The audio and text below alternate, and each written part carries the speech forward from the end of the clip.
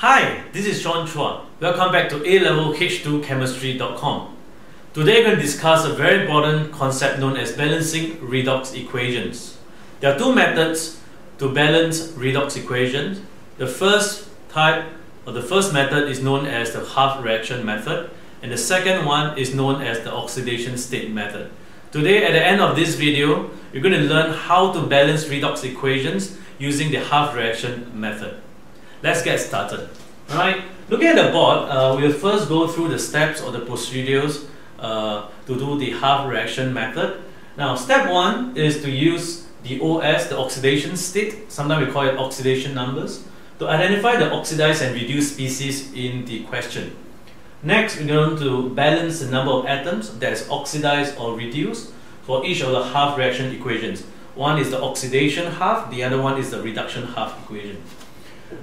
Next, we're going to balance the oxygen atom by adding water molecules to it.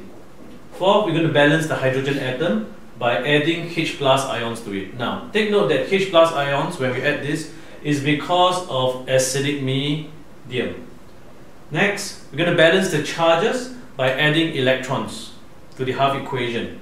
Last but not least, once you have two of the half equations, we're going to have we're going to combine the two half reaction equations to eliminate electrons. Alright, let's get started and take a look. Okay, let's shift to this side. Now, uh, step one using oxidation state, right? To identify oxidized and reduced species. So if you take a look and let's say this is the question and example, your um, your dichromate ion react iodine to become uh, IO3 minus, I believe these iodate ions, and chromium 3 plus ion. So we're going to look at the oxidation state of the main species over here. Um, if you do some math, these um, chromium and dichromate should be plus 6 oxidation state.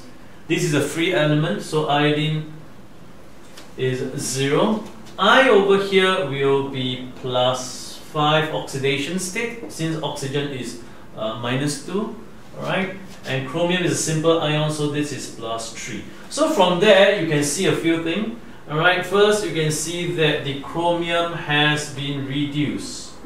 Alright? Because the oxidation number the oxidation state has decreased from plus 3 or plus 6 to plus 3 and then your iodine the oxidation state has increased from 0 to plus 5. So it has been oxidized.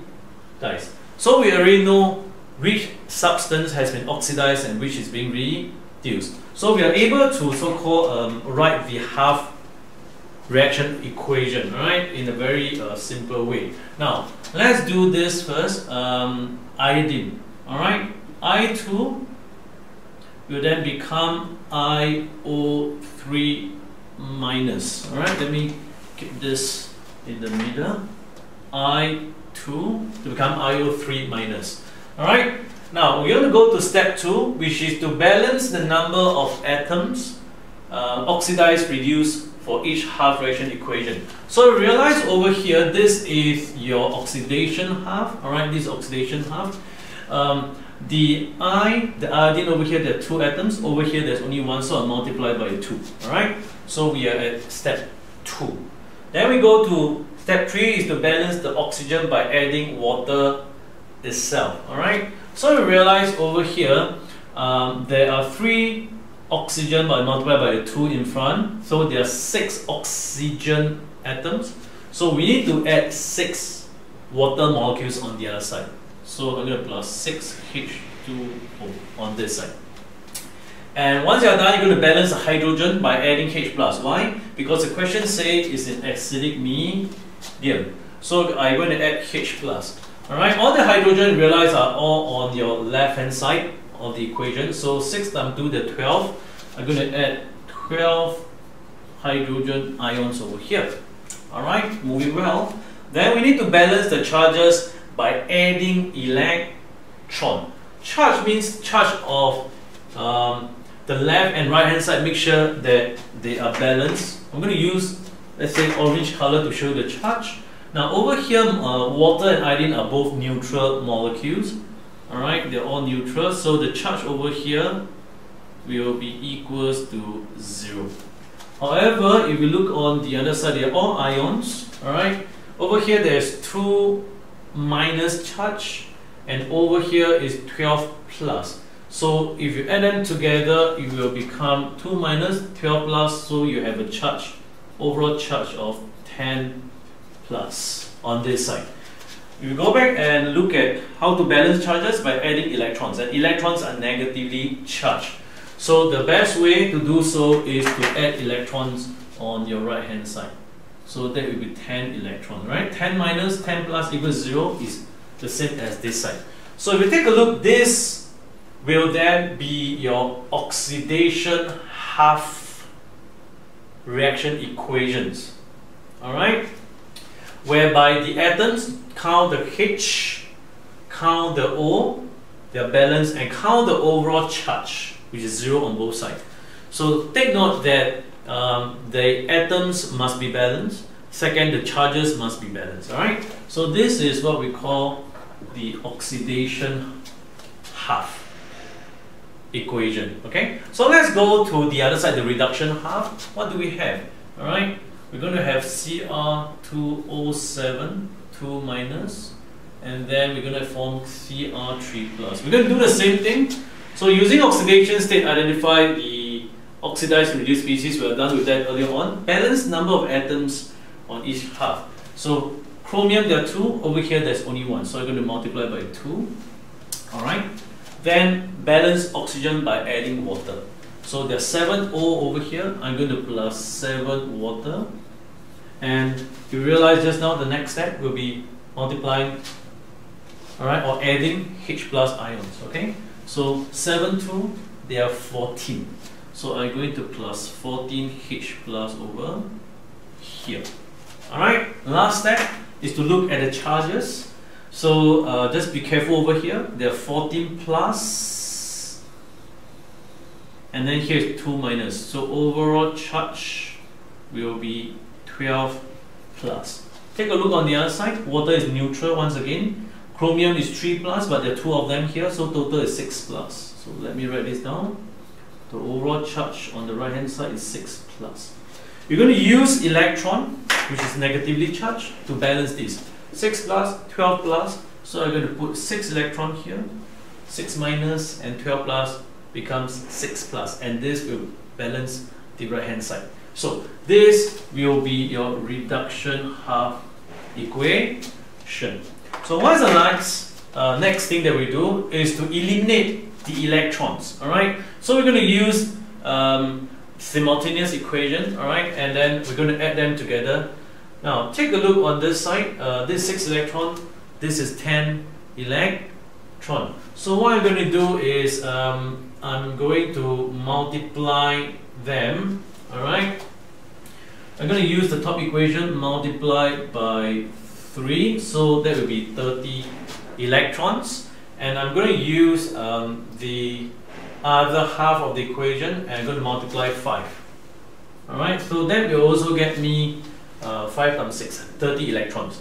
Um, the equation on the top, okay, there will be 30 electrons on the right, and the equation at the bottom, there will be 6 times 5, uh, 30 electrons on the left. So you add them up together, left add to the left side, right add to the right side.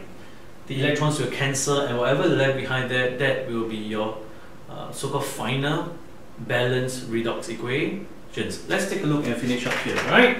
So let's be very careful, alright? So um, 3, so I'm going to have uh, 12 H2O and then sorry, not 12. 6 times 3 is 18. So I'm going to have uh, 18H2O plus 3I2. Alright, and then I'm going to add to this side 6 electron. Oh, it's 13. Have to be very careful. They're all numbers over here. Alright, 6 times 5, that will be 30 electron. Then I have uh, 14 of this times 5 okay? So that will get me a big number. Wow this is huge. 5 times 1 is um, 550 50 and then 4 there will be 70 70 H plus. Alright and a 5 CR2O7 2 minus. Not space, so I go to the next line. Alright, so I'm going to go to the other side. There'll be 6IO3 minus and 12 by 3, so that is 36H plus 30 electrons. Go to the next one. 5 times 2, 10 Cr3 plus, and 5, 7 is 35 H2O. Alright, so let's take a look what can be cancelled. Alright, left and right, 30 electrons, 30 electrons. Uh, what else do we have? Ah, water. 18 over here, they are 35, so I can strike off this side. 35 subtract 18, so I will have 17.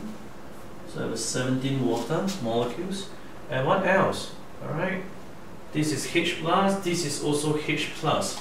So 36, I'm going to strike this off.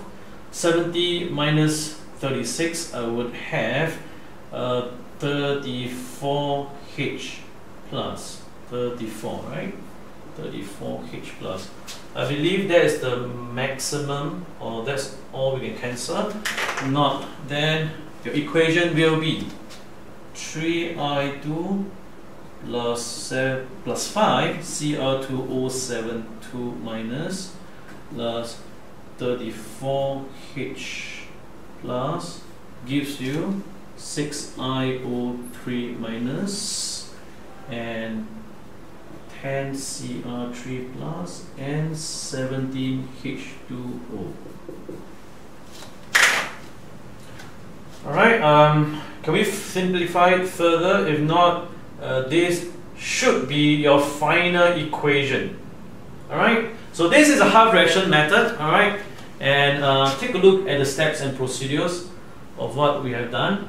This is in acidic medium, that's why we add H+. plus. Alright, in the next video, I'm going to show you how we balance redox equations in the alkaline medium by using half reaction method again.